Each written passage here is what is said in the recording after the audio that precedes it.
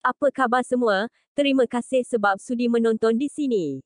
Jom kita mulakan menonton sambil minum kopi dan makan koci. Barulah kokoci.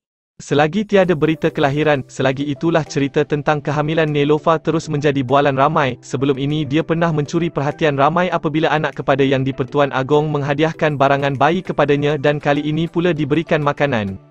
Sekarang, bukan bab makanan yang hendak diberikan fokus tetapi mengenai emoji bayi lelaki yang digunakan bekas pengacara meletop itu. Terima kasih Ed Iman Abdullah, sangat baik dan emoji bayi lelaki, gembira dapat makanan sedap tulisnya.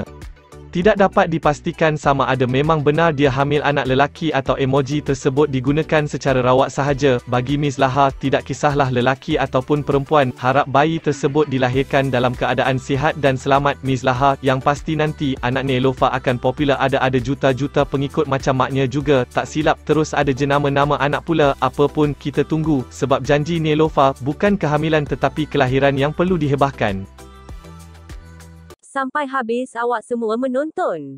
Terima kasih sebab sudi menonton di Kokoci TV Channel. Semoga yang memberi sokongan kepada kami, kami doakan semua mendapat rezeki yang melimpah ruah. Jangan lupa jika nak sebarang bekerjasama, ada email kami di bawah tu. Sampai di sini sahaja dulu. Tengok-tengok juga video yang lain. Sekian terima kasih.